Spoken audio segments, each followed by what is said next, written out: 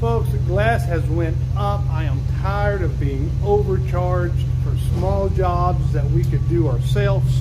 So today I'm going to show you how to replace this right here for under a hundred dollars. Now I called and got some prices and the prices are ridiculous from 220 to 380 for someone to come out and fix this. That's not happening here. Welcome to Auto Auction Flips. Like, subscribe, comment. Let's get started. One, two, three.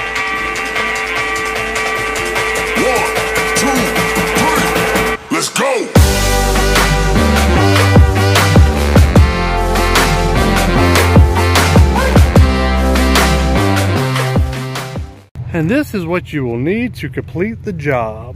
You will need the window. I got it for $65 online.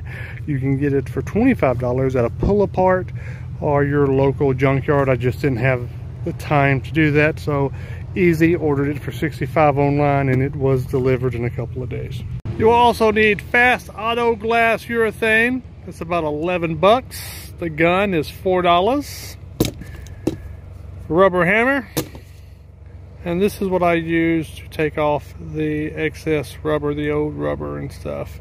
Doesn't have to be this, but uh, this works pretty dang good. Okay, let's get started.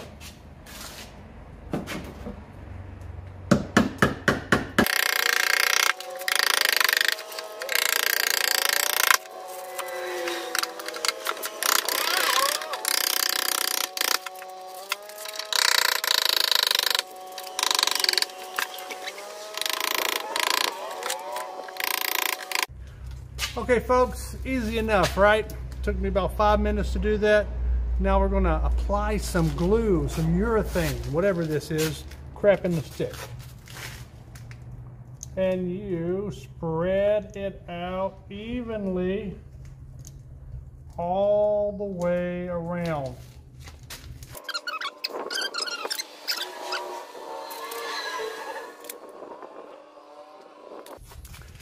It's not rocket science, folks. You don't have to, but I also applied it to the glass.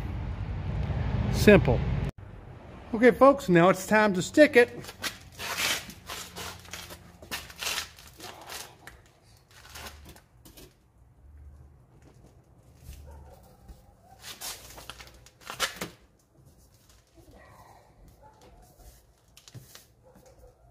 I mean, you can already feel it bonding to the truck.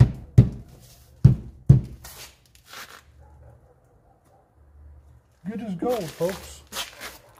Now, you can either do that, pay 220 and up, or you can do it yourself for well under $100. And there you go, folks. Just like that, you save a bunch of money doing it yourself. Takes about 15 minutes to do from start to finish and you are done. Thank you. Please like, subscribe, comment, push that notification button. It's time. It's time to subscribe to the best YouTube channel in the M and F and world, baby. I love y'all guys. Thank you.